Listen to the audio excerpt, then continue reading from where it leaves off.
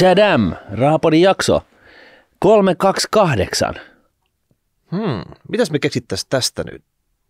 Tosi vaikea. Ei kyllä nyt, mikään kello ei soita. 328. Joo. Yleensä näistä automerkeistä kyllä pitäisi löytyä jotain, tai autoihin liittyvät niin kuin, tiedätkö, cubic inchit tai jotain, mutta tota, Tietokoneen Pentium 328, oliko semmoista? ei tainnut olla. Okei. Okay. Joo. Entäs Commodore 328? Ei sitäkään tainnut olla. Eikä edes Citizenin jotain kelloa 328, ei ollut, ei ollut. Jätetään tämä intro nyt tähän. Okei, okay. Ja, ja siirrytään, siirrytään likaseen puolitusinaan. niin. Koska nyt on ollut niin monta jaksoa tehty kaikkea muuta, me ei ole ehditty seurata markkinoita, koska niinku uutisia tulee jatkuvalla syötöllä sieltä. Hmm. Ja nyt mä ajateltiin, että käydään semmoinen kaikkein kovimmat uutiset viimeisen kolmen kuukauden ajalta. Joo, kertaheitolla läpi sitten. pakettina. Ja tota, lähdetäänkö vyöryttää sitten? Lähdetään vaan. No ensimmäisenä, nyt on pakko vähän juhlia. Olkiluoto kolmonen. Tämä meidän pitkään rakenteella ollut ydinvoimala. Niin. Se on nyt lopultakin käynnistetty sillä tavalla, että se on semmoisessa jatkuvassa sähköntuotannossa. Että sitä on koekäytetty tässä pitkin matkaa, mutta mm. nyt oikeasti se, se puskee 1500 megawattia tunnissa sieltä sähkö ulos. Jee, Jee. jee. Onko se niin, niin että nämä, nämä tota, ydinvoimalat, ne on vähän niin kuin viinit, että mitä kauemmas niissä kestää rakentaa, niin sen parempi niistä tulee. Tekis mieli uskoa näin, mutta valitettavasti mä luulen, että tässä on niin mähmitty matkan varrella isosti. Ja tota, jos nyt katsotaan, niin kuin, minkä takia mä epäilen, että tässä on niin mähmitty, että se ei nyt mennyt ihan niin kuin, kuin Strömsössä tämä Mm. projekti. Tuossa on Wikipediassa semmoinen maailman kalleimmat rakennukset, semmoinen saitti. Okay. että se, se ränkkää siihen, että rakenteilla ja valmistuneet, että maailman kalleimmat, niin siellä tämä Olkiluoto kolmonen, siis ihan vaan tämmöinen ydinvoimala, joka tuottaa sähköä, niin se on niin kuin top vitosessa. Niin. 12,4 miljardia taalaa on laskettu sen rakennuskustannuksiksi. Ei huono. Mutta toisaalta, jos se on 18 vuoden projekti ollut, Mm. niin kyllähän siihen varmaan saa uppoamaakin. Kyllä, kyllä. Ja- Mut siis, niinku, joo, ja, ja, siis jos vähän niinku laitetaan, niinku vertaillaan tuota lukua, siis 12 miljardia, se on niinku, sanotaan nyt pyöreästi 10 miljardia, miljardia euroa. Jotain niin? semmoista. Niin eikö se ole suunnilleen sen Fortum Cupron hinta myös, mi- mikä, mihin, mihin pystyttiin niinku vuodessa? Ei ehkä ihan. Ei, ei, ei kyllä, tämä, kyllä tämä menee ohi siitä. Okei. Joo, joo. No entä sitten se niin kuin tämän Sanna Marinin hallituksen tota, ö, lisäkuluerä tästä hetkestä joka vuosi eteenpäin, ellei joku tee sille asialle jotain. Eikö se ollut 10 miljardia? No se on varmaan sitä. Eikö se budjetti nousu sillä 10 miljardilla nyt tästä eteenpäin, niin kuin Marinin hallituksen? sovitaan, toimesta? sovitaan näin, että se nousee. En, El- el, kuka, kuka on sitä pysty laskenut oikeasti täysin auki? Et, et siinä mielessä, niin, niin jos ne nyt tuhlas sen 10 miljardin tuossa niin 14 vuodessa, niin eikö se nyt ole ihan kohtuullinen? Niin kuin, ja sitten sitä paitsi sehän tuottaa nyt sit sähköä tästä eteenpäin. Niin tästä saatiin jotain konkreettista. Niin tästä jäi kuitenkin jotain käteen. Että ei ollut, niinku, tämä ei ollut niinku rahaa, joka meni Kankkulan kaivoon, jota ei, joka ei, josta ei ole mitään hyötyä enää tästä hetkestä eteenpäin, vaan tämä raha kuitenkin nyt sitten tästä hetkestä eteenpäin tuottaa sähköä. Sanna Marinin 10 miljardia ö, tota, ö, lisäbudjettia tästä hetkestä eteenpäin on kulutusta. No sillä, saatiin, Korkokustannuksia ja jotain muuta. no sillä sai ostettua miljoona IG-seuraajaa, mutta jos nyt puhutaan tästä niinku Olkiluoto kolmosesta No vielä. puhutaan siitä. Mutta siis Niin- mä ta- tarkoitin vaan, että näin niin mittalukuna. Että, No se on, se on samaa kaliberia. Ja itse asiassa maailman isoin ase, joku näistä lento, amerikkalaisista lentotukialuksista, niin senkin hinta on se noin 10 miljardia. Niin, että me haluttiin nyt sinne samaa koko luokkaa kuin isot pojat. Niin. Oh. Mutta eikö olisi nyt jollain tavalla, kun tämmöiset täm, top vitosessa olevat hienot, tiedätkö, tuolla tota, mikä on se, se kilometri korkea torni, se Bur, Burj Khalifa, Burj Ar- Arab. joku semmoinen. Tai Se- ei kun Burj Khal- Khalifa se Joo. mikä, joo. Joo, niin tota, se oli kans Tai siellä, niin, se oli kans siellä listalla. Niin se on niin kuin, ne on näyttäviä. Niin. Niin eikö tässä nyt 12,4 miljardilla taalalla olisi pitänyt saada jo, jotenkin, tähän turistikohde. Niin. Niin sillä tavalla, että siellä on oikeasti turistibussi, että hei kattokaa, tuolla on yksi maailman kalleimmista rakennuksista. Sitten se on semmoinen hemmetin ruma tehdastönö. No hei, tämä pitää vaan brändätä toisin. Tuossa on maailman kallein ruma rakennus. Ykköspaikka. Ja sen takia turistit lentää Suomeen katsomaan sitä. No, he, ilman muuta. Siis totta kai. No, no sitten jos tota laskee ihan nopsaan, että se tuli nyt 14 vuotta myöhässä valmiiksi. Okei, se oli ehkä vähän, vähän tota optimistinen se aikataulu, mm. että neljäs vuodessa rakennetaan ja pistetään sitten töpselit seinään. Mm. Mutta sanotaan, että 14 vuotta, jos se olisi tota, 5 senttiä kilowattitunnilta, eli 50 euroa megawattitunnilta mm. ollut tämä sähkön hinta, että se olisi 14 vuotta nyt jauhannut sitä sähköä tässä. 24 tuntia vuorokaudessa, 360 päivää niin. vuodessa. Niin tehdään tämän laskutoimitus. 14 vuotta. Niin.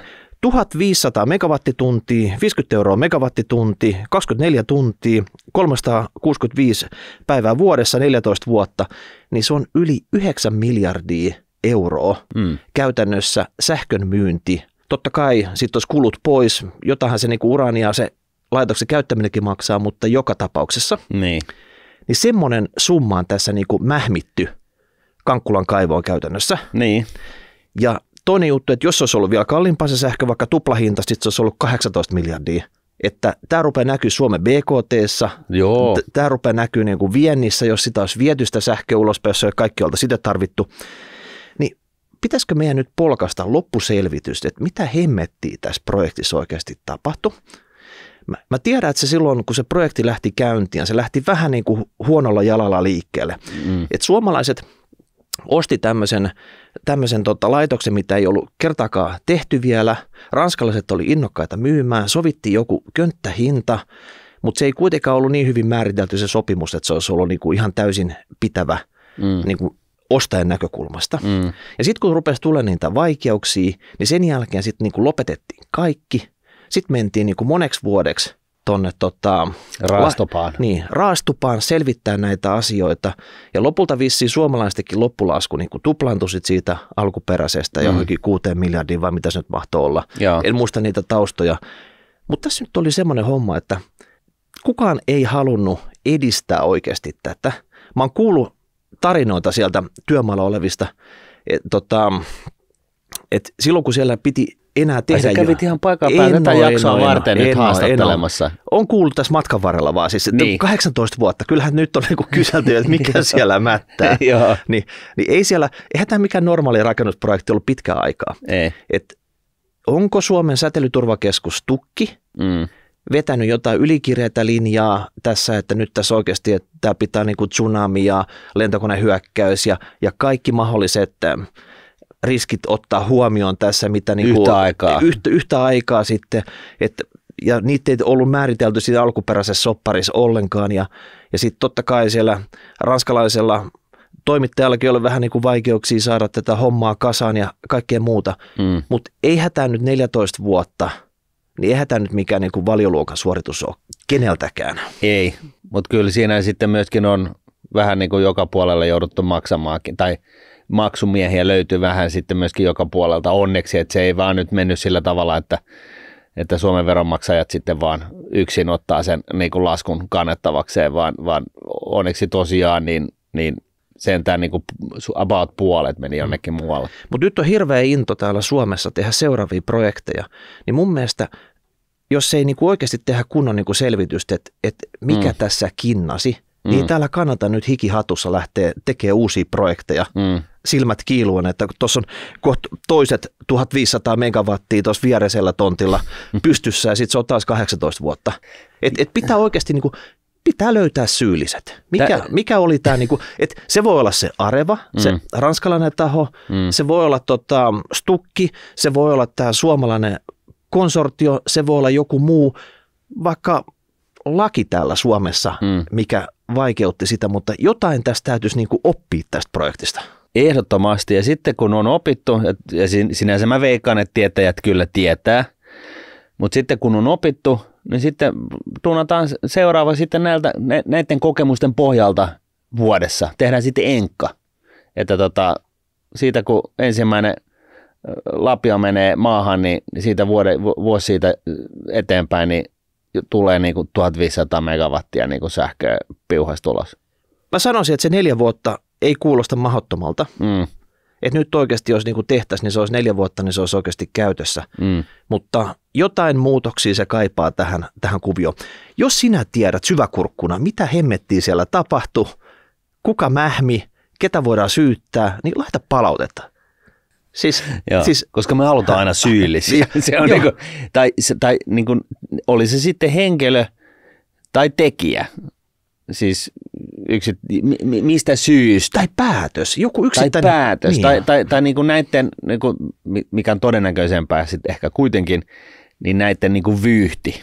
Pistäkää sellainen kymmenen isoimman mokan lista meille tulemaan, niin me sitten tota, laitetaan se etteriin. Saadaan rahapodi tota noin, niin, tämän perinteisen median sivuille, kun nyt on pakko, mm. jos me breikataan se uutinen täältä. Voit laittaa siis tällaiselta anonyymiltä tota noin, niin, sähköpostiosoitteesta ne Ai tiedot tor, Tor-verkosta se? Niin, Tor-verkosta vaikka ja, ja, tota, ja ei sun sinänsä tarvitse, koska siis meihin voi luottaa, että sä voit laittaa vaikka olla omalla nimelläkin, mutta tota, ja, ja vaikka Fortumin osoitteesta tai tai mistä ikinä, Arevaan osoitteesta, tästä pitäisi puhua ranskaa nyt sitten jo tässä kohtaa, mutta joka tapauksessa. Niin, niin, niin. parlez-vous, jotain mitä, Joo. sieltä sitten... Me Bring the, new, the, the facts to us, yes? Niin, le button, sillä yes. että, että anna tulla nyt vaikka, pistää Google Translatoriin, me, me ymmärretään kyllä. Kyllä me ymmärretään, Joo. vaikka mitä. Mutta sitten siirrytään seuraava juttu, joka on vähän sama juttu tämä, mutta ihan täysin vastakkainen. Joo, Saksa sulki samalla viimeisen ydinvoimalansa tässä pari päivää sitten. Eli Suomi tosi bullish, Saksa tosi bearish. Joo, eli vielä vuonna 2010 niin Saksassa oli yli 17 ydinvoimalaa käytön, käytössä.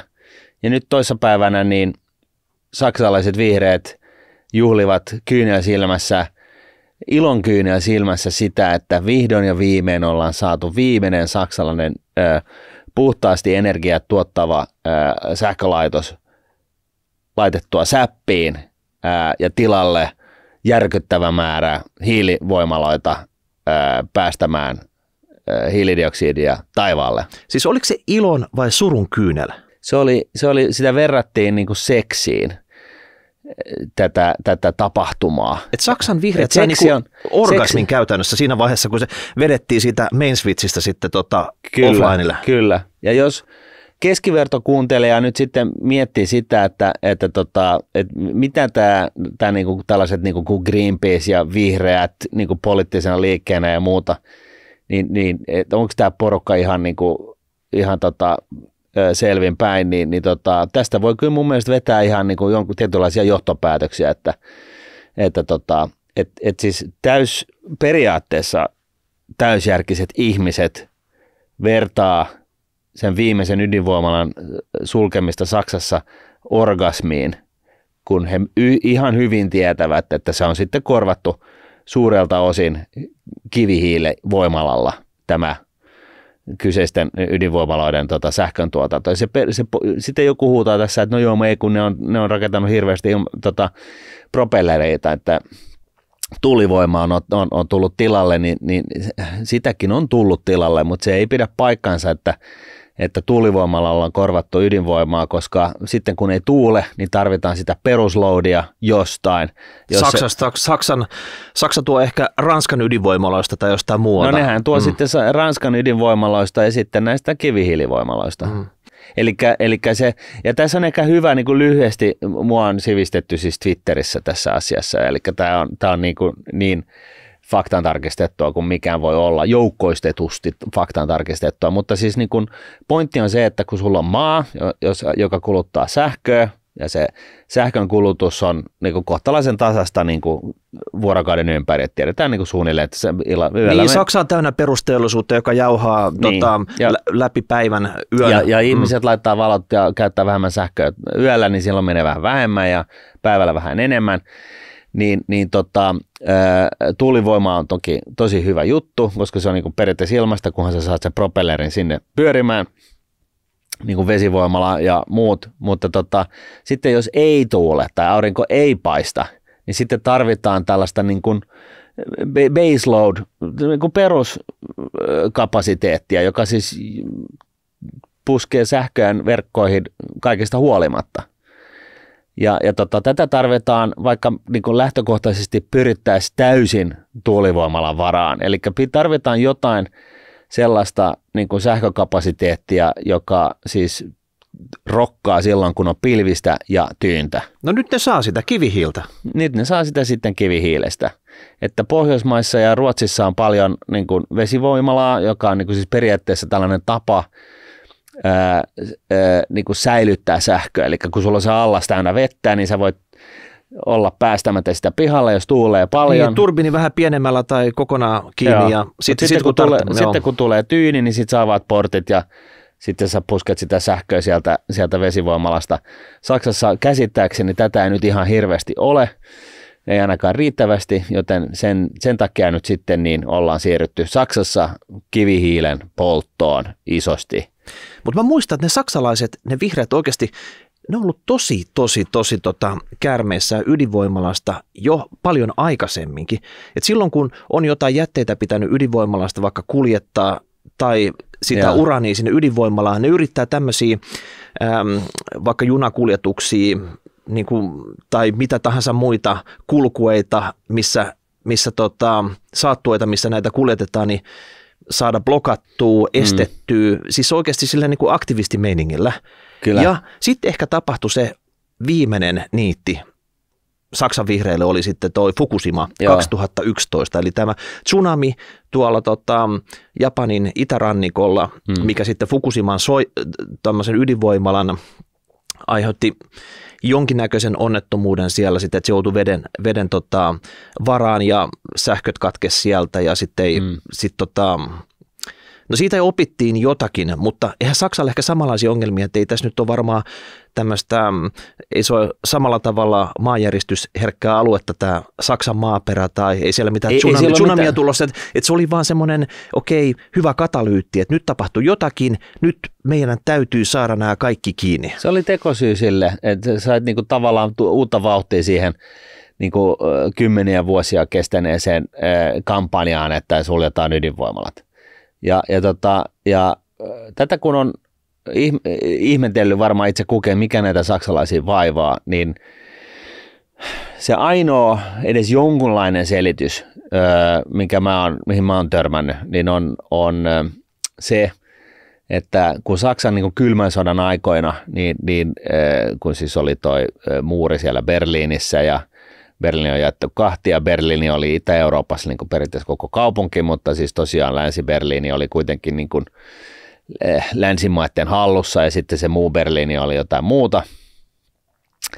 Ja oli siis tällaista niin kuin nuorelle sukupolvelle tiedoksi, niin oli siis aika kovaa ja jännittävää tällaista niin kuin jännitettä Neuvostoliiton ja muun länsimaiden, tai länsimaiden välillä ja, ja tota, ydinaseet teki tuloaan 60-luvulla ja, ja tota 70-luvulla ja, ja, ja näin.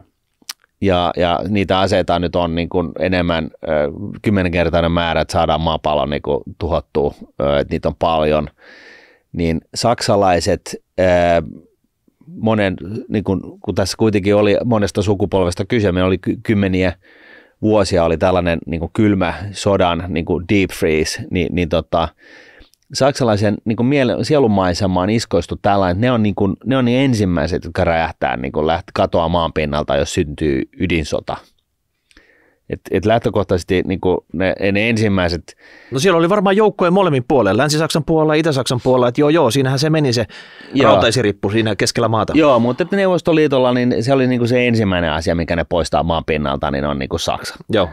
Ja, ja, tota, ja näin ollen näistä, tästä niin kuin ydinase niin kuin pelotteesta, niin se on niin kuin juurtunut niin kuulemma selkäpiihin, että kaikki asiat, jossa on saada, niin kuin saksalainen saada, sana ydin – voima, ydin, ase, ydin, mitä ikinä, asian ydin. Joo. Niin ne, ne on tota... Ne ei halua ikinä päästä asian ytimeenä. Ei, ei niin, niin ne on, ne on tota noin, niin, tällaisia absolute no-no. Ne, ne on niinku siis, ne, näihin on niinku iskoistunut sellainen todella voimakas tunnelataus ja sen takia nämä Greenpeaceit ja, ja vihreät siellä Saksassa on pystynyt ratsastaa tällä pelolla ja saada päästä, niin kuin, sitten kun Fukushima tuli, niin päästä niin kuin maaliin tekemään tällaisen niin kuin, järjenvastaisen niin kuin kampanjan, joka on johtanut järjenvastaiseen lopputulemaan. Eli tässä on niin kuin taustalla biologia, se on heidän geeneissään. Ne ei mahda sille mitään. No ei se kyllä geeneissä ole, vaan se on niin kuin heidän sielumaisemmassaan. Ja sitten toisaalta niin ehkä se nyt sitten katoakin sitten yhdessä sukupolvessa, mutta tota, kyllähän tässä nyt niin kuin periaatteessa Saksaa vietiin kehityksessä niin kuin 50 vuotta taaksepäin. Mutta Mut kuinka, että, kuinka helposti voi Saksa ponnistaa enää minkä näköiseksi ydin äm, energiavaltioksi, jos se nyt oikeasti ajaa kaikki. Tai siis nyt se ajo viimeisenkin ydinvoimalansa alas. Tässä luki jossain, että se saattaa jopa 15 vuotta kyllä kestää, että niitä puretaan siellä. Mm. Mutta sanotaan näin, että jos olisi nyt joku nuori ja miettisi, että millä alalle kouluttautuu, niin en mä tiedä saksalainen, niin kannattaisiko ydinenergiainsinööriksi kouluttautua siellä. Näyttääkö se kovin lupavalta se tulevaisuus? No, jos haluaa lähteä Ranskaan, niin sitten se on ihan hyvä idea. No siellä pitäisi varmasti osatakin sitä Ranskaa. Että... Niin, ja mm. sitten tota, että ainoa, ainoa pahempi, saa hiilidioksidimäärässään pahempi maa Euroopassa, niin on Puola että Saksa on heti kakkosena. Et nämä on nämä kaksi, kaksi tota, kivihiiliä niin kuin surutta polttavia tota, valtiota ö, Euroopassa. Ja, ja tota, nyt nämä ympäristöaktivistit piti huolen siitä, että Saksasta tuli niin kuin Gerd Laakista niin kuin se to, niin kuin toiseksi pahin hiilidioksidisyöppö, mm. tai siis puskia. Tässä on vielä tästä energivendestä, eli tämä mitä Saksassa puhutaan tähän energiamuutoksesta, eli ajetaan nämä ydinvoimalat alas ja otetaan sitä tuulivoimalla tosi paljon tilalle, niin se on myös tarkoittanut aika paljon tämmöistä ylimääräistä rakennusta ää, Saksassa, koska nämä ydinvoimalat, ne on sijoitettu ehkä sinne, missä sitä perusteollisuutta on, missä mm. sitä sähkön tarvetta on, mutta sitten taas tämä tuulivoimalla se on rannikolla ja ehkä jollain vuoristossa korkealla paikoilla, niin se on ihan jäätävät läpi valtakunnan menevät uudet siirtolinjat tarvitaan siihen, mm. että siirretään sitä energiaa mm. siellä, missä se tuotetaan, sinne, missä sitä käytetään. Mm. Ja näitä ei niin kuin ollut, koska niin kuin, nyt jos joku saitti ydinvoimalla suljetaan jossakin, niin ei se, mm. se, se korvaava energia, niin ei se sitä ko- kovin läheltä saada tehtyä sitä. Niin. Että ainakin tämmöisen kertakustannuksena, niin siellä kyllä kaadetaan metsää ja raivataan alueita ja kustannukset on ihan jäätävät. Joo, ja, ja siis niin kuin me tiedetään – tällaisena aasinsiltana tähän seuraavaan, niin me tiedetään, että, että Uniperin suurin kivihiilivoimalla päästää siis yhtä paljon hiilidioksidia taivalle kuin koko Suomi. Et nyt ei puhuta mistään pienistä määristä. Nyt ei puhuta siitä, että Günther ei saisi ajaa bensa-autolla autobaanalla, vaan nyt puhutaan siis siitä, että se Uniperin, saksalaisen Uniperin isoin kivihiilivoimala päästää taivaalle yhtä paljon hiilidioksidia kuin koko Suomi Mm. Koko siis kaikki, minä, sinä, sun isäs, sun äitis, sun lapset ja, ja kaikki firmat ja kaikki teollisuus ja kaikki mahdollinen ja kaikki bensan, tota, petrolheadit ja kaikki tässä maassa. Se on aika iso summa. Y- yksi kili, kivihiilivoimala, mm. yksi. Mutta tota, hei, jos on kommentti tästä Saksan ydinvoimalla päätöksestä, oliko hyvä, oliko huono, oliko jotain, mitä unohdettiin, laita palautetta tulemaan. Mutta sitten siirrytään tähän seuraavaan. Tiedätkö oikeasti, hei, me yritetään välttää. Niin me yritetään. Me, me yritetään välttää, että ei aina otettaisi Fortumia ei. käsittelyyn. Ai Mut, mutta siis, ja meillä on niinku se rima, meillä on se rima, se on korkealla. Kyllä. Et, et millään ja piko... varsinkin sellaisista aiheista, joista me ollaan käsitelty kerran, kaksi, mutta varsinkin niin kuin jo kolme kertaa, niin me ei haluttaisi palata siihen aiheeseen, koska se on niin kuin periaatteessa käsitelty. Mutta mm. tämä saaga Fortum just keeps on giving. Joo, ja silleen niin kuin, että Fortum saa tehdä pikkumokia, niin me ei tartuta niihin ollenkaan. Tai siis aika isojakin mokia, niin Joo. me ei siltikään tartuta niihin. Kyllä, se on tosi korkea se rima, mutta nyt on taas mennyt. Koska nyt meni niin kuin ihan övereksi taas. Viime viikolla oli yhtiökokous. Joo. Ja tota, en mä tiedä, oliko yhtiökokous vai karnevaali, mutta semmoiseksi se kuitenkin muodostui. Joo. Ja taustana siinä oli se, että normaalisti Yhtiön hallitus valmistelee yhtiökokousasiat, hmm. ne menee aika smoothisti siellä, tulee niitä äänestyskohtia, ne on ehkä etukäteen mietitty suurimpien omistajien kanssa, vähän niin kuin pollattu, että miten nämä niin kuin viedään. Se, se menee vähän niin kuin chak chak chak tyylisesti se kokous ja, läpi. Ja varsinkin tällaisissa isoissa yrityksissä, niin se on tyypillisesti aina niin kuin katsottu, että jos se menee äänestykseen, niin, niin nämä ison päätöksen, mitä siellä, siellä yhtiökokouksessa päätetään, niin ne menee kuitenkin läpi ja se myöskin kerrotaan siellä yhtiökokouksessa, että no 60, omistajat, jotka omistavat 60 prosenttia tästä firmasta, niin ne on sitä mieltä, että tällä mennään.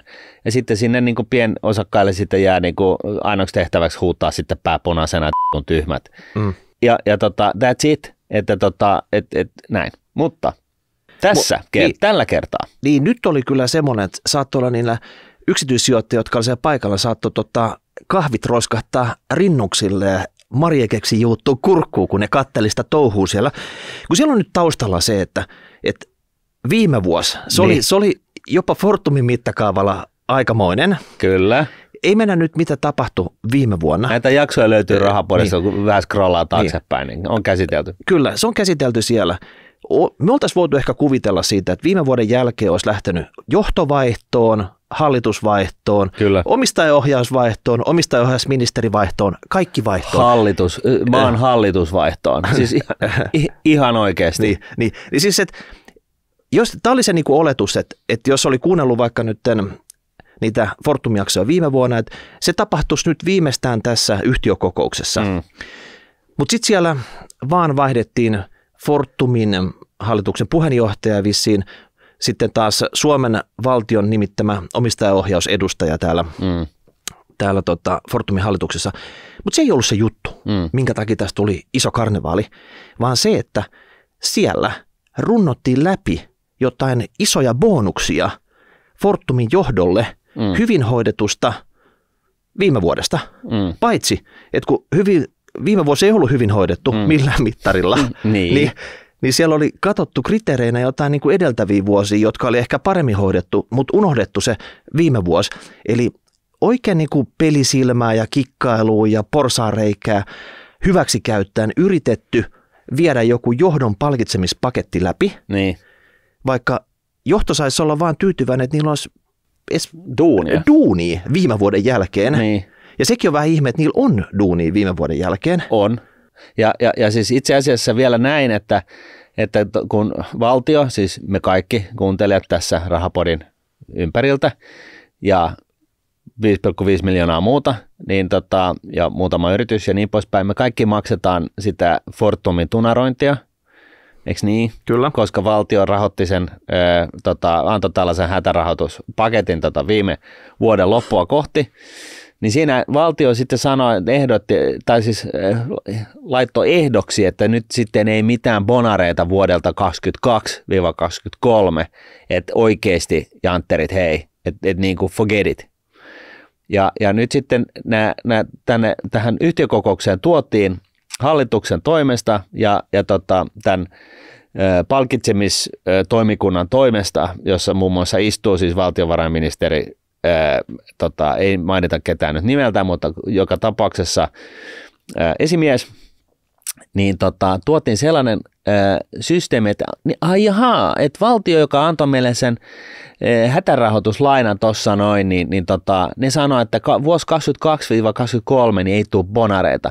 Niinpä me laitetaan tähän meidän bonarilaskuriin nolla siihen niin kuin – 22 vuoteen. Että ei, ei, niin kuin pyyhitään se pois koko laskurista ja katsotaan, minkälaiset bonarit meille kuuluu vuodelta 20 ja 21. Ja kun ei huomioida tätä niin kuin, ö, tota noin niin, ö, Itämeren kokoista kraateria tässä tuloksessa, niin Hastu Mirgeseen johdolle tulee siunautuu tolkuton määrä rahaa taivaalta. Ja toimarille siis 710 000 euroa, euron arvosta osakkeita. Näin. Eli siellä siis sillä niin kuin luovasti ö, säädettiin sitä niin kuin, ja tulkittiin asioita, ö, jotta siis tämä ylinjohto saisi mahdollisimman paljon fyrkkaa. Ja samalla niin oltiin kyllä niin, kuin, niin luettiin sitä niin kuin henkilöstön bonusohjelmaa kuin piru raamattua, että, että tota, ja ei nähty mitään syytä muuttaa siellä yhtään mitään, koska sehän on sinne sääntöihin kirjoitettu, että jos, jos tota, tulos on tarpeeksi huono, niin sieltä leikataan niin kuin bonarit hemmettiin. Ja, ja tota, tässä keississä, Miikka, no?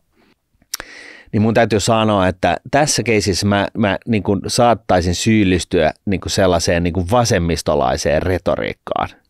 Oikeasti? Joo. Että et noin niin noi, noi rikkaat porsaat Fortumin johdossa käärii hillot ja, ja tota, polkee rivityöntekijöitä maanrakoon.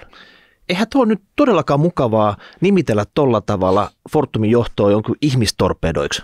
No ei olekaan, mutta tota noin, niin, kyllä tässä vähän niin on, että, että jonkunnäköinen niin syy-seuraus kuitenkin asioihin yleensä on.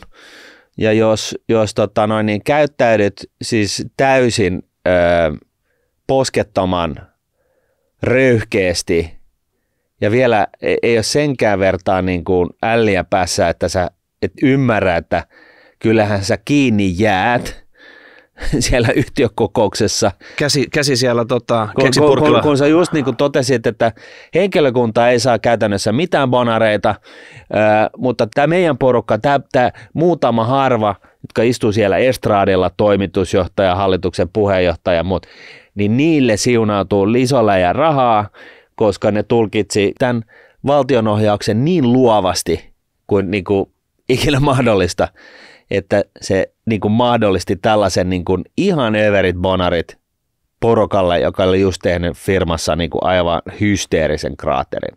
Ja samalla varmaan ne rivityöntekijät Suomessa, jotka on pitänyt ne myllyt pyörimässä täällä vaikeana vuotena. Niin sille, että ne on punaisena huutanut ja tuottanut sähköä, kuunnellut niitä tota, äm, asiakkaiden valituksia aamusta iltaan. Ne olisi niitä bonareita tarvinnut tässä, eikä niin. tota, se johto... jotka, jotka siis niinku, yritti integroida Uniper ja Fortumia niinku ensin, ensin pari vuotta ja sitten niinku yritti irrottaa Uniperin Fortumista niinku kuukaudessa. Ni, niin tota, kyllähän tämä vähän niin kuin – kyllä se, kyllä se ihmetyttää, kyllähän se niin kuin vilpittömästi ihmetyttää, että, että miten, miten sä ajattelet, että, että yhtiökokous menee. Että sä, totta kai sä latot sinne sellaisia helppoja päätöksiä, jotka menee läpi ja kukaan ei sano yhtään mitään. Sitten tulee tällainen niin kuin yritysten bonarit, niin, tota, no, niin tässä näin niin kuin todettu, että näin niin kuin toimari saa niin kuin 700 000 ja bla bla bla. Ja, ja sitten, niin kuin, sitten niin kuin onneksi, onneksi ää, tota, ää, valtion valtion tota edustaja sitten heräsi siinä kohtaa, että haloo, että no, hetkinen, mikä mut, tämä on? No en mä tiedä heräskö se oikeasti, koska se oli kuulemma Ilmarinen nosti sen esille, niin kuin työeläkeyhtiö Ilmarinen, Joo. ja sitten siitä innostuneena valtiokin, että hei, okei, ne oli varmaan päättänyt, jos kukaan ei mitään mainitse, me ollaan ihan hiljaa, mm. ei vitsi Ilmarinen, nyt nyt, nyt te mokasitte, nyt meidänkin täytyy tässä nyt aktivoitua. Niin. Ja sitten siinä on varmaan sisäistä ristiriitaa, että siellä on tota, se, joka aktivoitu se yhtiökokouksessa valtion edust, omistusohjauksen valtioedustaja, niin hänen esimiehensä oli ollut siellä hallituksessa sös, sössimässä näitä. näitä ja tota, kehittämässä, niin. eikä kun hän oli ollut kehittämässä tätä kyseistä veivausta. Hän no. oli ihan keskeisessä roolissa. Eli niin. tämä, tämä, tota, tämä tyyppi, joka edusti valtiota siellä yht, tota, yhtiökokouksessa, niin joutui siinä kohtaa, kun Ilmarinen tarttui tähän asiaan, niin, niin tota, menemään esimiestään vastaan ja nostaa sen kissan hänkin pöydälle. Hei, respektit siitä, että viimein siinä vaiheessa nyt se niinku omatunto löytyi sieltä. Tai ja, jokin. Niin, tai jokin.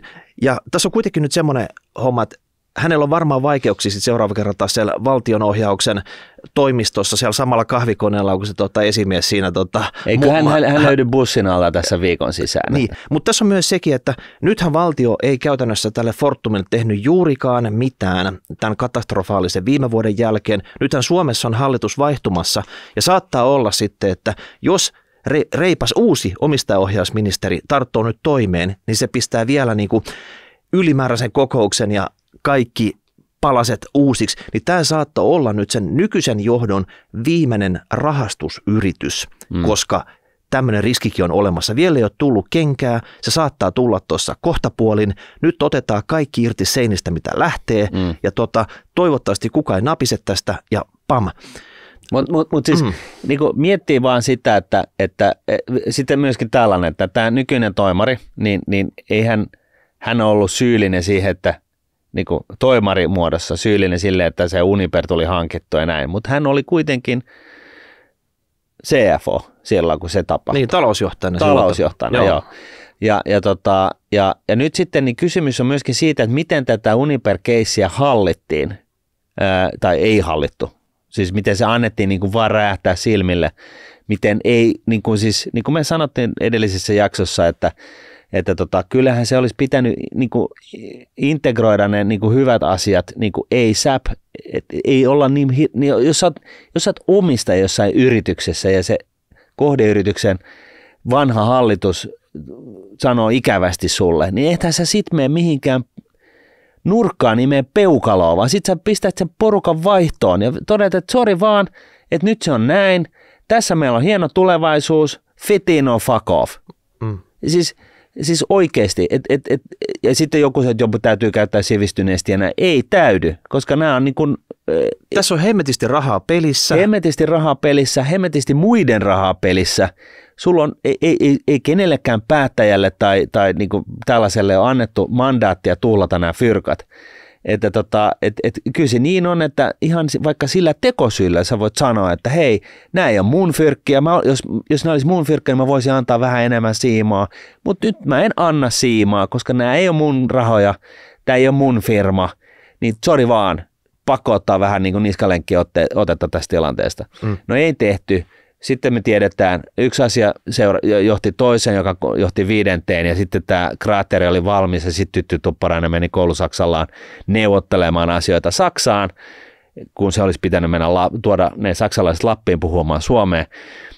E, siis kaikki asiat meni pieleen. Mä en tiedä, missä nämä neuvonantajat oli.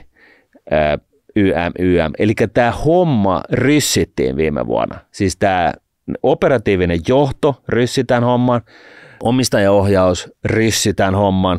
Onko ok ryssitellä heitä nyt tolla tavalla? No, ehkä ei. Ehkä siinä menee raja. Mutta tota, joka tapauksessa niin kuin pieleen meni, mm. niin, niin, niin kuin me sanottiin tuossa aikaisemmin, että se on niin kuin ihmeellistä, että tämä niin kuin operatiivinen johto sai jäädä, ettei kutsuttu ylimääräistä yhtiökokouksesta vaihtamaan se hallitus. Siis tämä on ihan käsittämätöntä niin kuin, öö, tällaista niin kuin flegmaattisuutta, tällaista niin kuin, saamattomuutta tämä koko, koko keissi. Ja, ja se, koska se on sellaista, niin se tavallaan ymmärtää, että nämä tyypit, jotka oli siellä, että nekin oli varmaan ihan siellä, että, että mitä ihmettä, että e, meillä on vielä duunit paikalla tallessa, että tämä on ihan naurettavaa. Yritetään nyt sitten tyhjentää se firma vielä niin kuin muutamalta, muutamalla sadalla tuhannella niin kuin no. per nuppi, niin, niin tota, siis et, eihän tässä kukaan laittamassa ra, niin jalkaa alas, että nythän tulee vaalit, niin se nyt ei varmaan kukaan huomaa. Ne unohti sen jo. Ja viime jaksossa me puhuttiin ESGstä ja siinä todettiin, että, että Fortum oli yksi niistä firmoista, jotka ESG-mielessä mm. feilas vähän, se oli tämä E, mikä niin. silloin kanitti, environment. Mutta nyt nyt tässä ESGssä tämä G tarkoittaa governance, hyvä hallintotapa. Niin. niin hyvä, hyvä hallintotapakin on nyt vähän kortilla tässä. Niin kohta Fortumille tästä ESGstä on jäljellä kuin se S. Et mm. tota, se, sekin on Social. Nyt, niin, se, sekin on niin mahdollista, että milloin se tipahtaa pois. Että sillä ei ole mitään mahdollisuuksia tota, olla mikään ESG-yhtiö. Mutta laittakaa kommenttia, jos ainoana ratkaisuna voisi olla se, että – minä Martti lähdetään nyt tällä niin laittaa Fortum kondikseen. Toinen operatiiviseen johtoon ja toinen sinne hallitukseen. Mm. Että onko se niin kuin viimeinen keino, millä tavalla tästä saadaan vielä... Että ollaanko me siinä pisteessä, niin. että nyt laitetaan niin kuin Miikka ja Martin asialle? Että onko tämä niin pielessä, että nyt, nyt, nyt on se hetki, se, se niin kuin, tiedätkö, paniikkinappula, se punainen, mm. exit, niin kuin nyt hoidetaan homma. Jos haluatte jonkun mielenosoituksen Fortumin pääkonttorille tästä aiheesta tehdä sitten, että tota, nyt, nyt lähettäkää se Miikka ja Martti laittaa se tota, pulju kondikseen, niin tota, ei pistetä pahaksi. Ei pistetä. Ja itse asiassa vielä tällaisena loppukaneettana, niin mun mielestä valitettavasti tämä Fortum keissinä pitää mun mielestä myös, ihan kuin Olkeluoto, niin tästä pitää nyt oppia jotain. Tai sitten päätetään, että valtio ei omista enää yhtään kotimaista yritystä millään muotoa, vaan ne firkat hajautetaan maailmalle kauas politikoiden intohimoista ää, tota noin, niin, ja, ja, ja, ja, niin. ja näin ollen niin, että tällaisia sotkuja ei enää löydy. Koska se on ilmeistä, että tällainen niin kuin tuhannen portaan hallintohimmeli, siis sulla on toimari, sitten sulla on hallitus, hallituksessa ääntä käyttää ne, ne siis hallituslaiset, mutta hallituksen tota, kokoonpanon päättää yhtiökokous ja yhtiökokouksessa on valtiovarainministerin jotkut virkamiehet, jotka tuijottaa sitä yhtä Omistajaohjauksesta joo, ja sitten on, on niin näin, ja sitten sulla on vielä poliittinen ohjaus siinä päällä, ja ilmeisestikään nämä informaatio ei kulje tässä himmelissä millään tapaa, vaikka se pitäisi olla niin, että jos mä olisin ollut Fortumin toimari, niin mä olisin niin kuin, ellei nyt joka viikko lounaalla niin kuin, ö, tota noin, niin omistusohjauksen kanssa tai, tai niin kuin päättävän ministerin kanssa, niin ehkä joka toinen kertomassa, että miten menee, missä fiilikset, niin kuin näin, että tota, mitä tämä ajattelee, mikä, ne, mi, mi, miten, mikä, missä, niin kuin, where are you at tyyppisesti. Niin ja sitten komentoketjuun siellä niin kuin ylimpänä on vielä pääministeri, jota ei saada kiinni, kun hän on ruisrokissa niin. viikonloppu silloin, kun pitäisi päätöksiä tehdä. Niin. Ei tämä toimi. Et nyt, nyt tarvitaan nyt se tota, porukka barrikaadeille nyt sinne tota, pääkonttori eteen, niin saadaan muutosta aikaa. Joo, jos ei muuta, niin Mika ja minä mennään sinne lippujen kanssa. No niin, sitten hei tota, seuraava juttu. Suomi-firmoja poimitaan nyt ulkomaille kuin mansikoita. Joo. Ja tässä on nyt taustalla se, että jotenkin tuntuu, että nyt pörssi on ihan täysin jumissa, mm. siellä ei niinku treidata, kukaan ei tiedä oikein mihin tämä on menossa. Kaikki, Hyvä, kun kaikki, ei treidata, kaikki, kaikki, kaikki kipristelee inflaatiota, korkeita korkoja, firmat yrittää sopeutua niihin, hyvä, että tota, työpaikat ihmisillä pysyy. Tämmöinen tilanne, mutta jostain ihmesyystä tulee pääomasijoittajia, jotka oikeasti poimii nyt näitä Suomi-firmoja ostotarjouksillaan kiihtyvään tahtiin. Tässä on esimerkiksi viime aikoina Kaverio, Nordic Lights, Uponor, Rovio, niin kohtaa, että tämä pörssi on tyhjä, jos tämä sama trendi jatkuu tässä vielä pitkään. No tämä trendihän on vissiin aina ollut vähän se trendi suomalaisittain, että että tota, vähän niin kuin näin, kun joku älykäs mies aikoinaan kysyi, että onko Suomella valttia vaurastua, malttia vaurastua. Että tota, et, et, me, me, me, meillä on niinku, käydään niinku ahkerasti koulussa ja opiskellaan juttuja ja opitaan asioita ja sitten perustetaan joku pieni paja, josta tulee niinku, oo, tuhannen niinku, työntekijän firma, joka niinku, liikevaihto on parisataa miljoonaa. Wow. Ja, ja tota, siinä vaiheessa, kun, kun joku iso poika sitten jonkun rapakon takaa, niin tulee ja sanoo, että hei, että me maksetaan tästä niin kuin, puolitoista kertaa liikevaihtoa, niin sitten se on se, että ei jumalauta, laitetaan myyntiin. Niin sille, että hei, se kirjoittaa shekin siinä ja antaa se sitten, niin tota, Et tässä sä, sä, kättele, sä kättelet se heti Just ensimmäisellä näin. kertaa. Just näin. Eli tällä, ja, ja siis totta kai, jos sinä ja minä pistetään firma pystyyn ja meille tarjotaan 150 miljoonaa, sä mietit, että me omistetaan se 80 prosenttisesti ja työntekijöille se 20 prosenttia ja, ja, ja näin, ja meille tarjotaan se 500 miljoonaa, niin hei, eihän me, niin kuin, mitä väliä, että tarvitseeko mun saada niin kuin kaksi miljardia, että niin kuin, eihän mä saa näitä rahoja menemään joka tapauksessa, niin tota, otetaan ne rahat ja juostaan. Mutta eikö pitäisi näytellä vaikeasti tavoiteltavat? Ei kai, kyllähän se firma nyt, ei se ole kaksi kertaa se liikevaihto sen hinta, vaan se on kymmenen kertaa. Että et, tota, et, no, kyllä se no. näin varmaan tehdään ja, ja, ja tota, Siis se ero esimerkiksi johonkin ruotsalaisiin tai muihin, jotka rakentaa tällaisia globaaleja ilmiöfirmoja jenkkileihin, jenkkilät esimerkiksi, niin sehän on se, että, että, että, että ne sanoo, että ei, että ei riitä, me, ei me haluta, ei me olla myynnissä, että mehän vedetään tämä homma ja me valataan koko maailma. Ja meistä tulee niin kuin – tuhannen miljardin liikevaihtoa tekevä firma. Niin, että, että jos haluat mukaan, niin käy ostaa pörssistä sitä lappua niin. oma fikkaan. Et mutta... siitä vaan. Et, et, et, se on ihan fine. Mutta me väännetään tämä nyt niinku ihan tappiin asti. Siis jos puhtaasti vaan katsoo, miltä se näyttää ulkoapäin, niin tämä on vähän niin kuin tällainen kyllä suomalainen ilmiö, että heti kun päästään, saadaan joku hyvä juttu niin kuin alkeille, niin sitten kun joku viitsi tulla ja ilmoittaa, että hei me voitaisiin ostaa tämä, niin okei okay, fine, antaa mennä. Että tota, no onko tämä vähän sellainen farmiliika tämä Suomi, että täältä firmat ostetaan pois heti kun ne niin kuin pääsee pörssiin, mm. ne on pikkusen kasvanut, missit lähtee Hollywoodiin, NHL-pelaajat tota, NRiin, niin kuin, mitä tänne jää jäljelle, että tuhkat tänne pesään vai? Niin, no, ja sitä voi kysyä, että miksi se on näin, että, että siihenhän voi vaikuttaa aika paljon asioita, että, että tota, maa, Suomen BKT on polkenut paikallaan viimeiset 15 vuotta, niin kuin tiedetään, ja sekin on tapahtunut niin kuin kiihtyvällä tahdilla negatiiviseksi menevällä vaihtotasella, eli talous, Suomen talous on vetänyt velaksi ja, ja tota, tämä poliittinen ilmapiiri on ollut ahdistava ja, ja kaikkea tällaiset toteat, että hei, mä pääsen veke, mä pääsen nostaa sen saaren, saaren sieltä Bora Boralta, mä lähden niin kuin toiselle puolelle maailmaa, mä järkkään sinne itselleni sellaisen tukikohdan ja, ja, tota, ja, niin kuin, ja näin, ja, ja, ja, sitten jos maailma vielä ja Suomi on vielä olemassa, niin mä voin varovasti palella mun mun, mun tota, challenge, ei Challengerilla, vaan Gulfstreamilla, tota, 950 Gulfstreamilla aina silloin, kun mua huvittaa, mutta se pidetään käynnissä koko ajan, mä pääsen pois, jos joku alkaa puhua jotain exit-veroa tai jotain muuta ha, ha, niin kuin sekopäistä. Mutta jotain, hei,